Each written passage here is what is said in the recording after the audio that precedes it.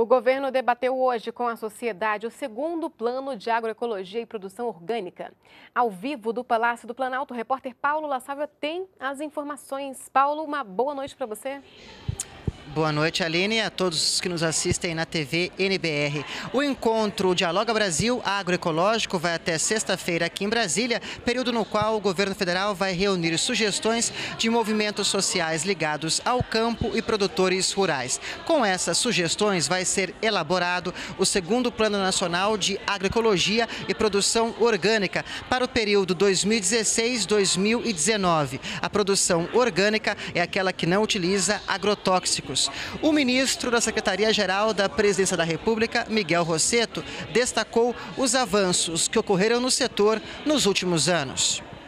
Esse seminário que vai pensar o futuro a partir da experiência adquirida, a partir da prática exercitada por todos nós, nós saímos dessa experiência planejando um futuro, incorporando novas agendas, novos temas para consolidar o nosso grande programa de futuro na produção agroecológica e orgânica do nosso país.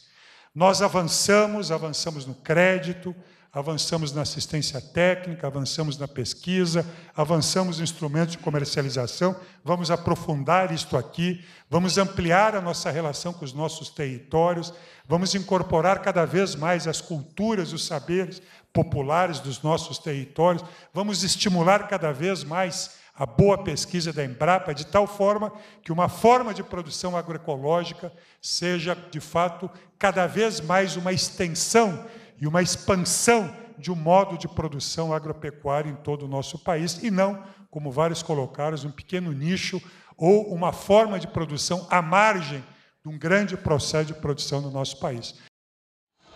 O primeiro Plano Nacional de Agroecologia e Produção Orgânica foi lançado em 2013 pelo governo federal, com 125 ações previstas até este ano. Já foram investidos nesta primeira etapa do plano 7 milhões de reais. 75 mil famílias receberam assistência técnica para converter a produção convencional para a modalidade agroecológica. E isso ocorreu em 50 mil unidades de produção, que acabaram convertendo a produção convencional para a produção produção orgânica que é mais sustentável.